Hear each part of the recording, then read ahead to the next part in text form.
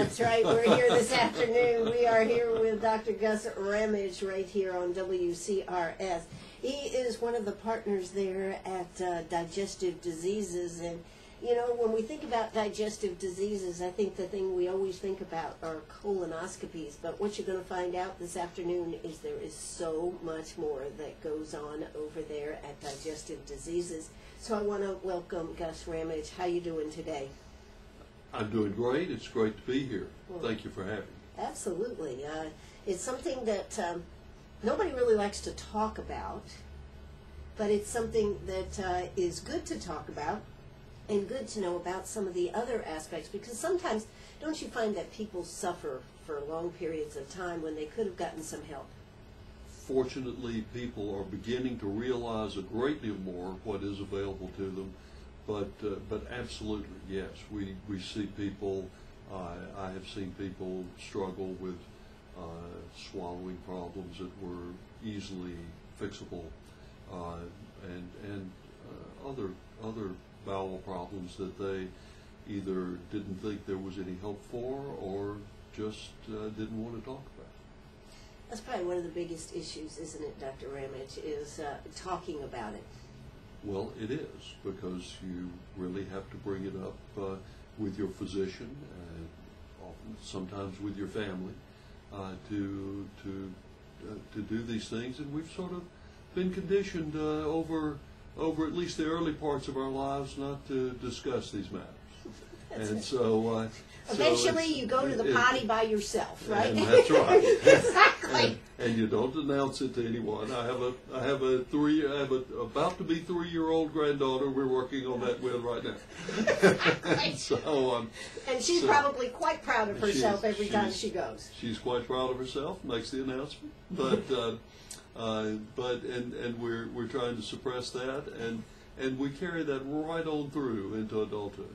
So uh, so that is something we, that we do have to, to, to deal with a lot. But uh, but I, I think one of the striking things when I when I started here, and I, obviously I've been in Greenwood for a number of years, but uh, the, the people who came to me who had struggled with difficulty swallowing for years, and uh, and we see them and and uh, do a dilation, and and all of a sudden they're swallowing well, and and it's uh, it, it it's was it's very remarkable. We don't have that near as much anymore. People are learning.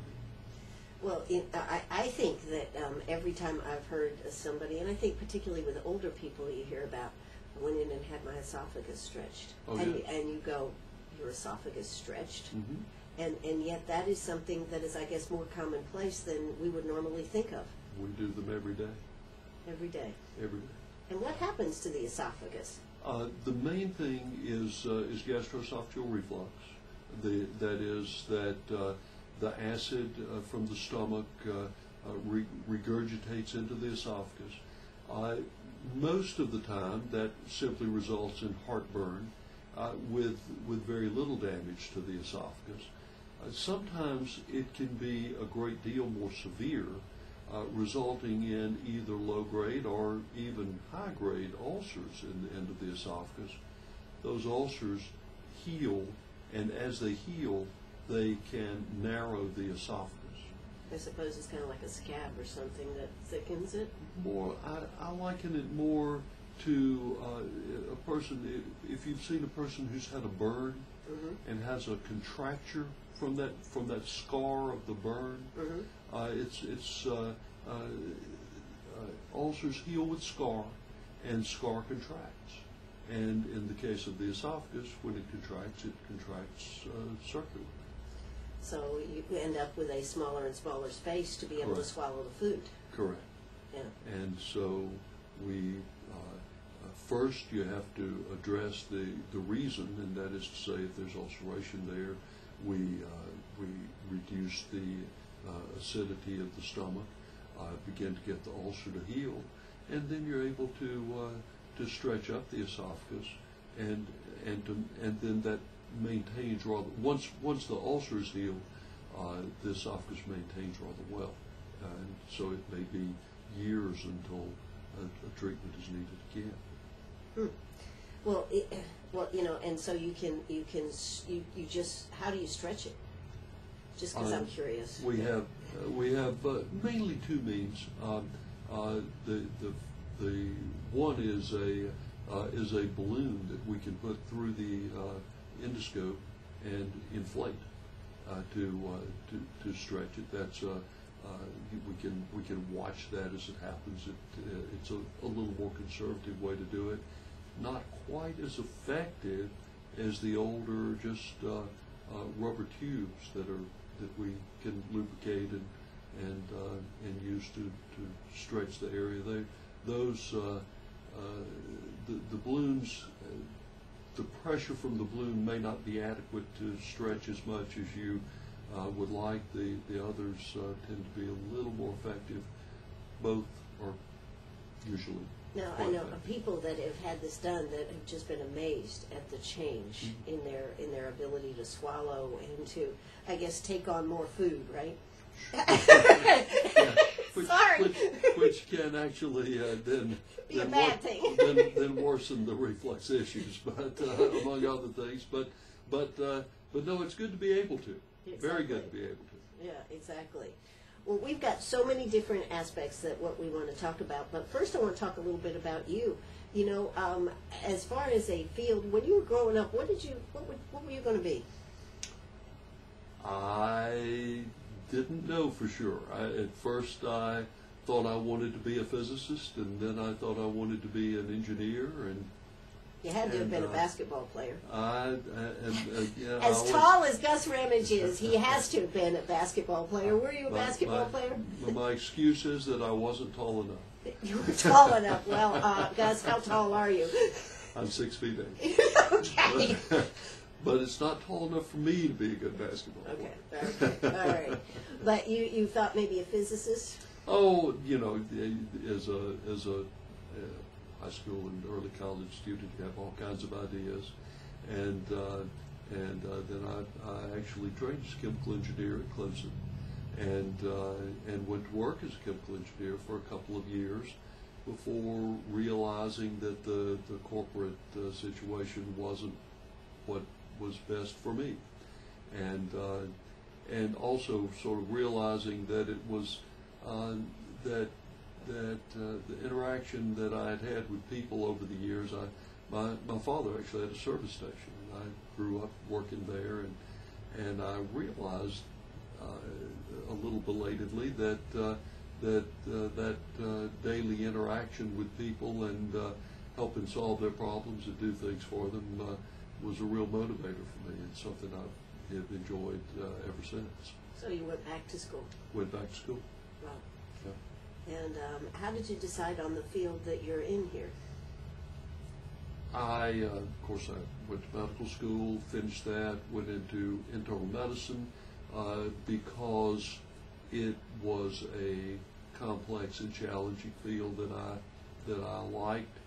Um, decided on gastroenterology a couple of years into into internal medicine because, well, in part I, I, I got uh, uh, I, I think I probably, in fact, definitely, I, I, I think everyone has something of that aversion that we talked about with our three-year-old.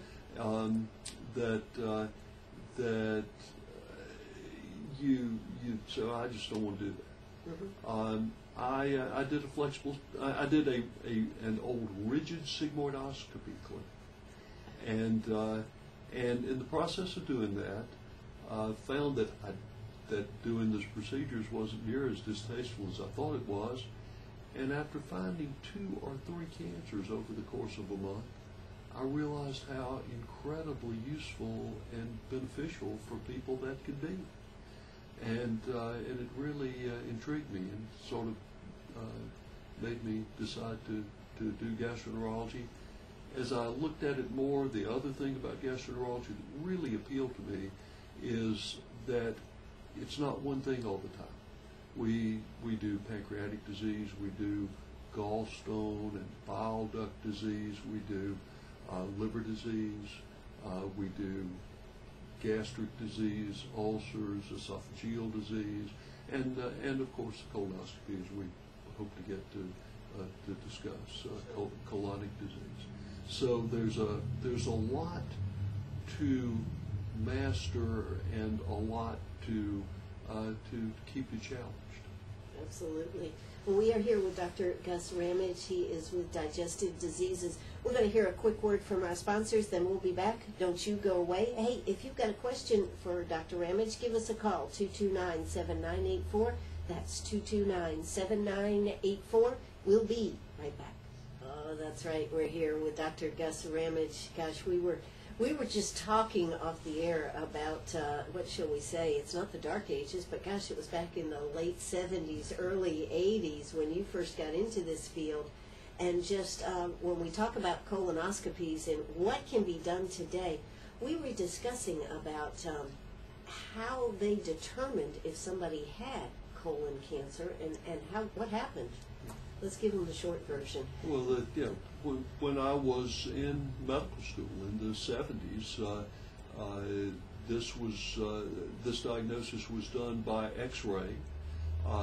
If someone saw a polyp on X-ray, and you really only saw the large ones mainly, uh, then there was a, a set of uh, of criteria of, of uh, that were used to determine if someone needed to go to surgery to get that out.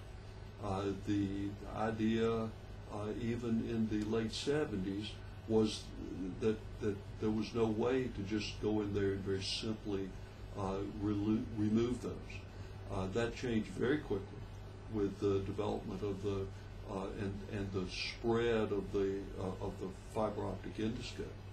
And, uh, and I was very fortunate to be relatively early in that. Not not right on the not right at the first, but but near but near the beginning. So really, i- your industry, as an industry, digestive diseases and all this, has really changed because of the equipment and whatnot that's out there today. It has changed dramatically over say 40 years. Over over the past 30 years, the, the changes have been coming more slowly, mm-hmm. but still very significant because we now have video equipment that is much uh, easier to operate, much easier to accomplish the, what we what we want to do, and much easier for, for people to tolerate. Uh, we've gotten better with sedation. We've gotten much better with sedation. We've gotten better with uh, um, with with many aspects of the procedures. Sure. And so, you know, when they talk about colon cancer today, they talk about it as one of the most preventable diseases. That's correct. Colon cancer is the is the number two cancer killer of Americans, uh, and and yet it is the uh, it, it is one of the most preventable cancers because it tends to grow very slowly. Uh, it uh, it is if it can be found either before it becomes actually malignant uh, or early on in the course of the malignancy, uh, it can be it can be cured very very frequently. Uh, our many of our our goal now is to really prevent the cancer more than to find it more, more than to, to wait for it to occur, uh, and that's accomplished not all the time but frequently. Now, what about diet when we talk about uh, digestive diseases? Has there been a change in diet? Is that making some of the differences? it's the diet uh, is not making, I don't think, a great deal of difference. Uh, interestingly, many of the things that we attribute to diet, uh, it's sort of sort of like many of the things we attribute to nerves. Um, that Or stress. once, one, uh, or stress. Yeah, there you go. Uh, we, we talk, uh, what I, what has, has seemed to me over the years is, is we've begun to understand things more and begun to be able to treat them more effectively. What we've, we've, we've learned that maybe less and less is diet and stress and nerves and more and more is things that we can actually do something about. okay, all right. And heredity plays a big part. I mean, that's the gene. Absolutely. The, the genes are what is phenomenal the way they're unwrapping or un- developing and, and knowing about this now. Well, I, I certainly don't present myself as a genetic expert, and we have many of those. Uh, we're blessed with, with, with much, many of those folks here in Greenwood. Um, but uh, but genetics certainly plays a part in the development of uh, of particular colon cancer. Uh, people who have family members, particularly uh, what we would call a first degree relative, that is to say a parent or brother or sister or child that uh, who has a, a colon cancer or colon polyps is at significantly increased risk over the average population. And yet, the average population by age 50 has significant risk even without a family member. So is it is it just age? Is it just part of what American and it, you know is this particular to Americans or, or are all people subject to it? Well, that is, that is, the answer to that is complicated. Okay, well Uh, we'll make it complicated. We'll work on it. Right. Um, the, um, uh, undoubtedly, there are factors related to the American diet and, uh, and the situation of Americans that increases our risk for colon cancer. We, we see that in groups who move from other countries to America. They actually, uh, th- their risk of colon cancer becomes, within one generation, the American risk and not the risk of the home country, Wow. which which says that which says that it's something about the way they're living and not something about the genes they brought with them. Uh, on the other hand, uh, there are clear genetic risk factors. Uh, the the sequence of genetic changes that occur as uh, as a polyp develops into a cancer are well worked out, well understood. Why they occur, how to prevent their occurrence, is not something that we're able to do at this point. Well, um, I, I know that um, it's something that people don't like to talk about, but it certainly is something that is a uh, good thing to do for your body. Absolutely, absolutely. Um, you know, we, we talk about, uh, and to sort of go into the, the matter of, uh, of colon cancer prevention, which I think is one of the things that we would like to, to have as a take home here. Um, there's basically two approaches. One is to, uh, is to find the cancer early uh, so that uh, so that it can be cured early.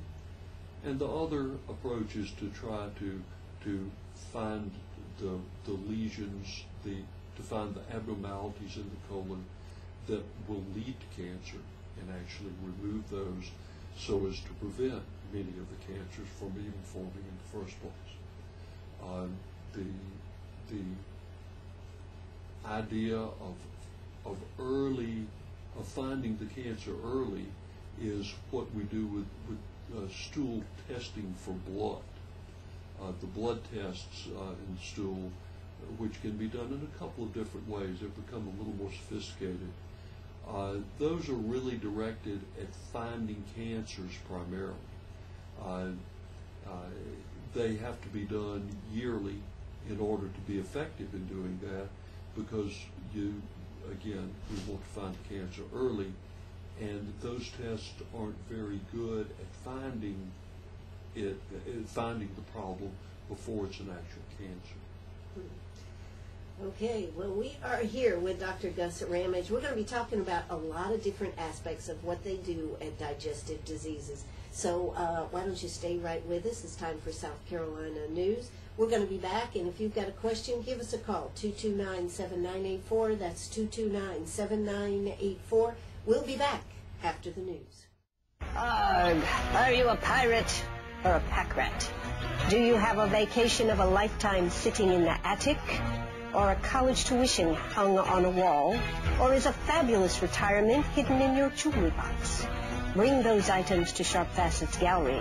We can establish value and buy from you or sell for you. And so ends another chapter at Sharp Facets Gallery, 72 Bypass and on the web, sharpfacets.com. All right, we're back here with Dr. Gus Ramage. He is one of the partners over there at Digestive Diseases. I tell you what, you know, when you start talking about all this stuff, Gus, it really gets, um, it's a subject we don't want to talk about most of the time.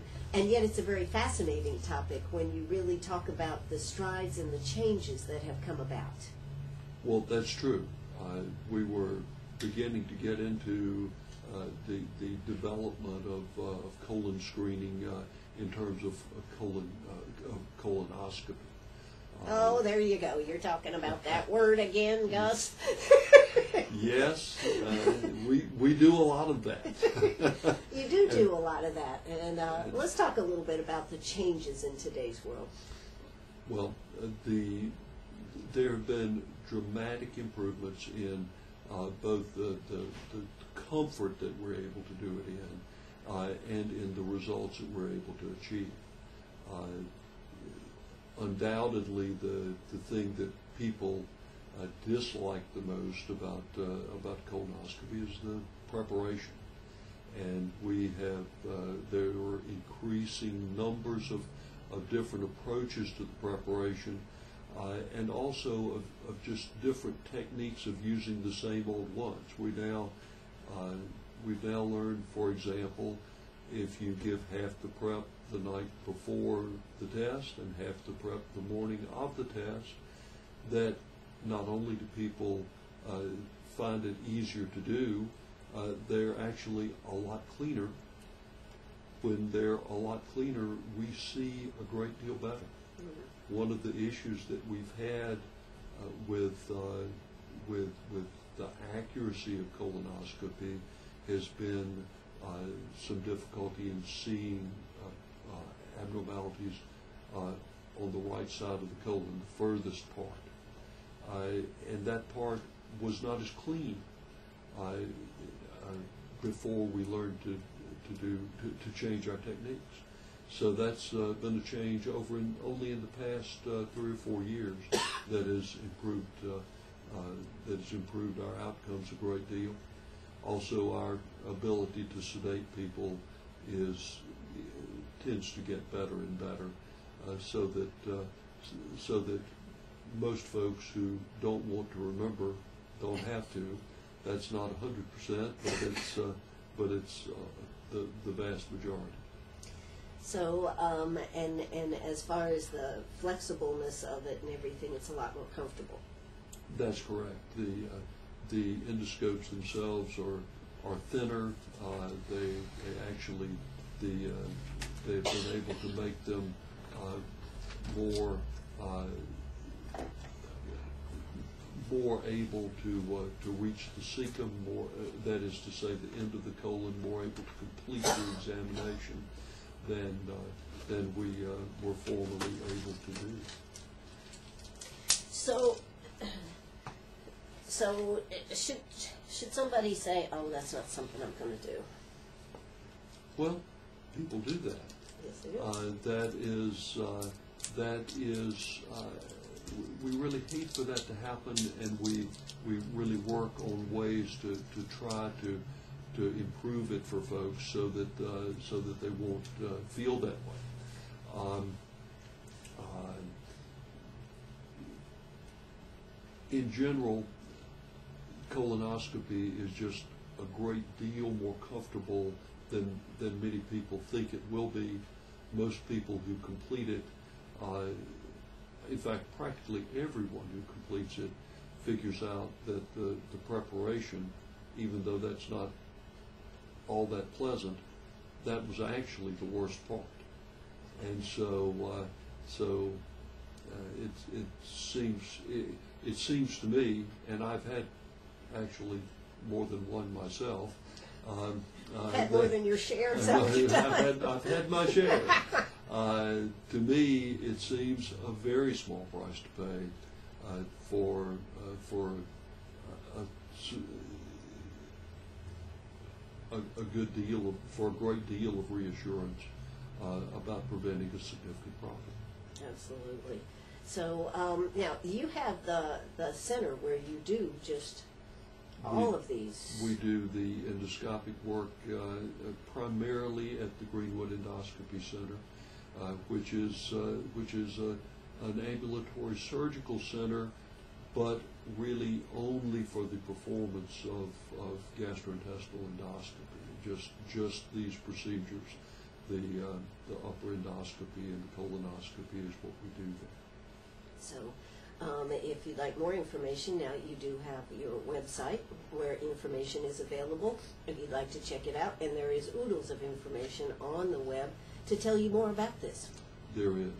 Uh, I always caution people in their access to the, to the internet, uh, because. It is kind of scary what you can hear. If it's on the internet, it's got to be true, right, Dr. Ramage? Just, just like so many other uh, ways of publishing things that, uh, and, and the internet may be scarier than most, but, um, but our site, uh, at our site, we try to, uh, to, to screen to the reliable sources, uh, uh, the gastroenterologist, the gastroenterology societies, the American College of Gastroenterology and the American Gastroenterological Association have also very large websites uh, with access uh, to, to information about almost all of the diseases we treat.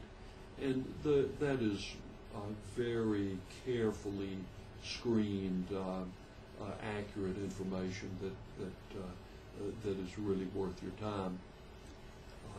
And quite possibly, if you, if you simply Googled the name of a disease, uh, you could, you could get into some pretty scary stuff.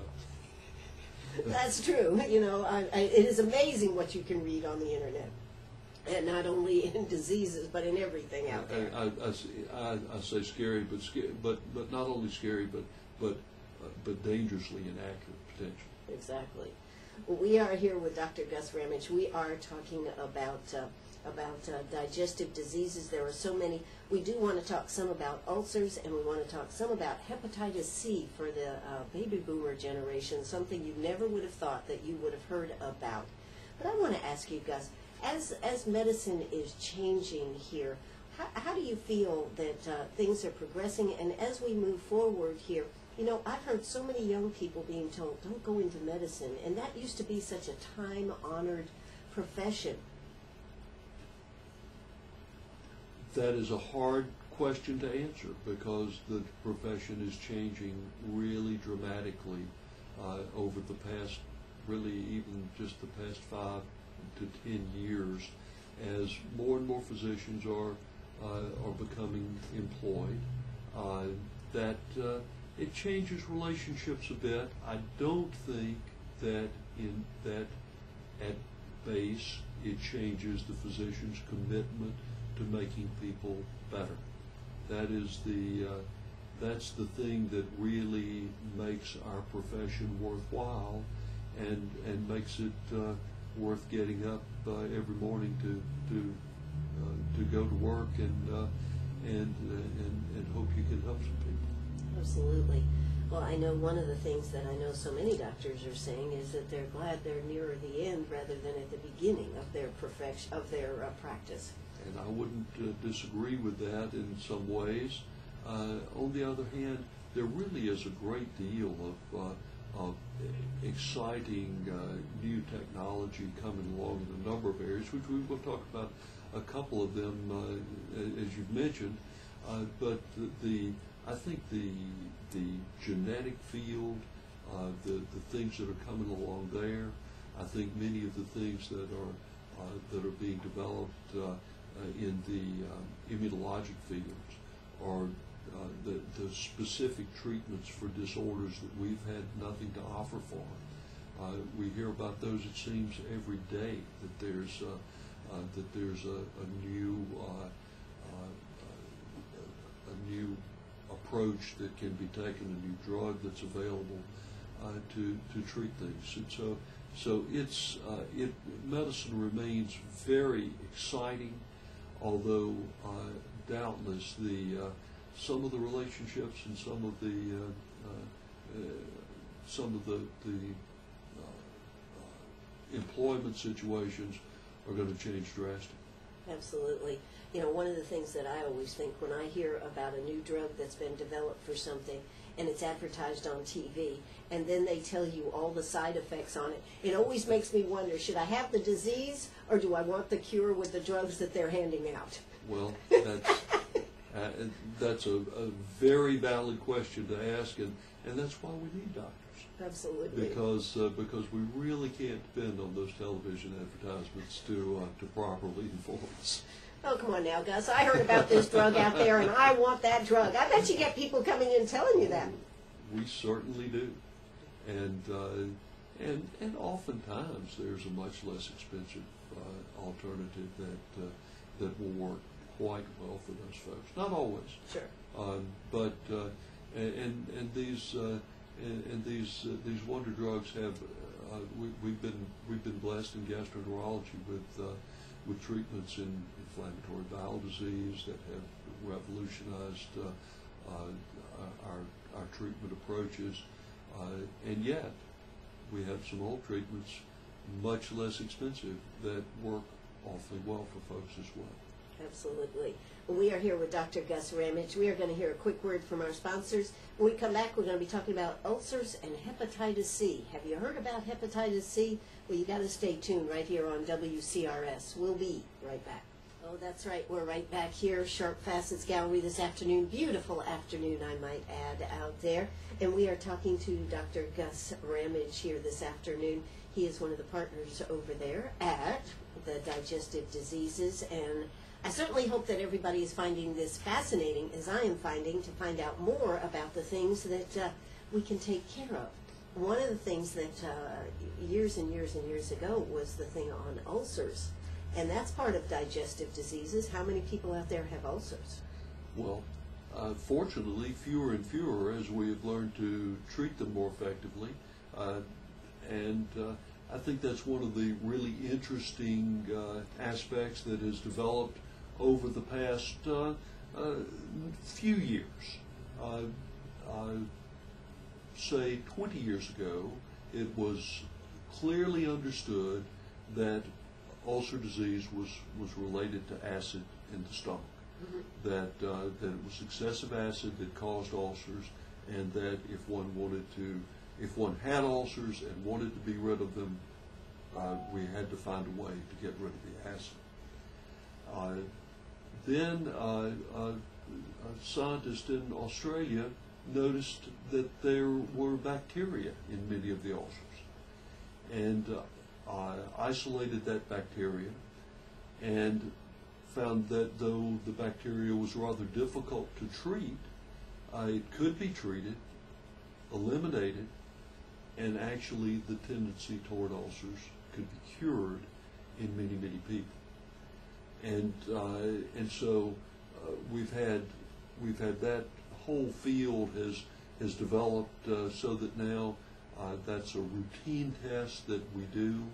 Uh, uh, every biopsy that we take from the stomach is tested for for this bacteria, and and we can treat people.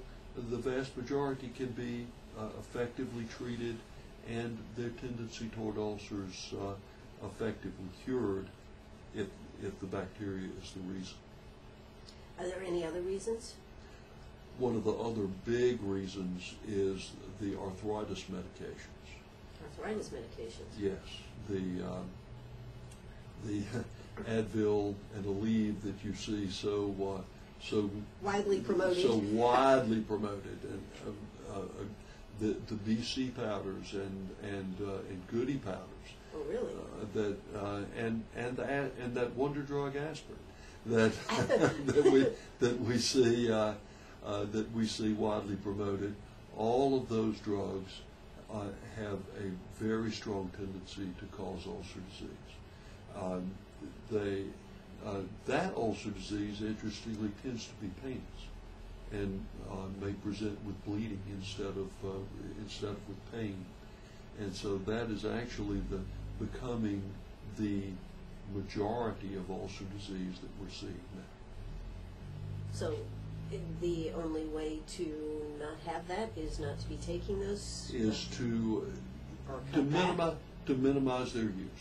Uh, used uh, intermittently and, and in lower dose, uh, these these drugs uh, they're very effective for arthritis, no question. But um, but uh, in higher doses and used on a daily basis, and particularly uh, used at older age, uh, they uh, they have a, a strong tendency to cause ulcers. Wow, okay. Well, there you go. We just learned something else here today. I tell you what, this has been really fascinating for you to come out here. Uh, I know you've been very, very busy, and we had Oh, to wait a long time, but it's been a great thing to have you here this afternoon. Now we want to talk about uh, baby boomers and um, hepatitis C. That came out a few months ago.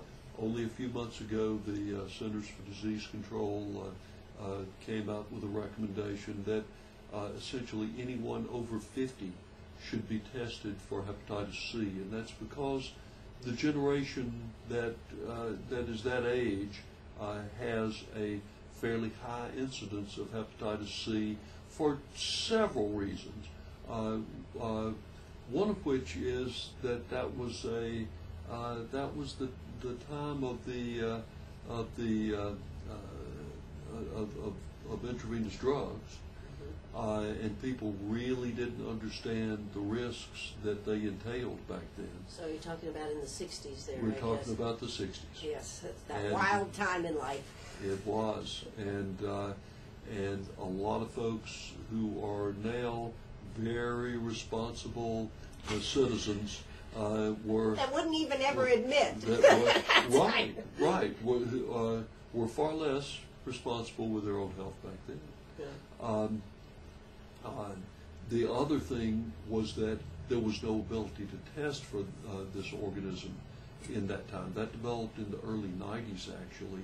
Uh, and so, uh, so not only was it that the people, uh, that it was being spread in that group, it was being spread by blood transfusions because there was no way to, uh, to test for, for the virus in the blood. Uh, hepatitis A and B could be tested for, but hepatitis C could not. And so, uh, so uh, things began to get a great deal safer in the 90s uh, when we began to be able to test for hepatitis C in the blood. Also, of course, able to test for uh, HIV in the blood at about the same time. Uh, so, so blood transfusions became a great deal safer.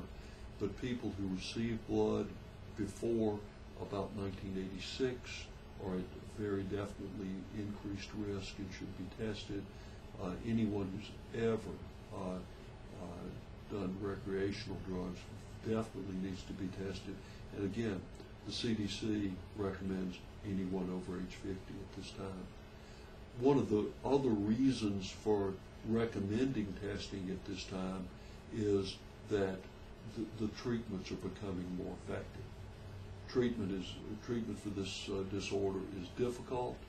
Uh, there's a lot of symptoms involved, and and uh, and it's it's uh, a pretty tough thing to go through. But it seems like every few years now, uh, we are getting more effective treatments uh, and able to cure a, a larger percentage of the folks who, who have the disease and to prevent cirrhosis of the liver by doing so. That is what happens with hep- hepatitis C, is that correct? In a substantial percent of people who have it, not everyone, Okay. uh, probably about 25% of people who have hepatitis C uh, will develop end-stage disease from it. Wow. So, um, and what type of, what type of cure is there? I mean, what type of, how do they treat it?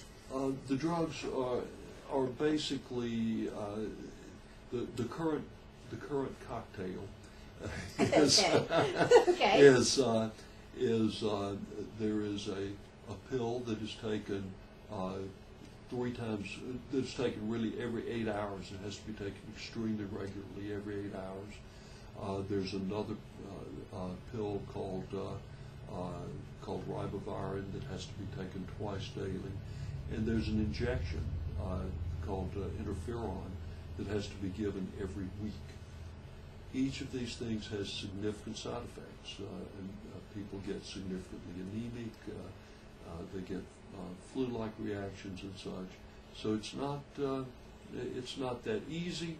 On the other hand, it's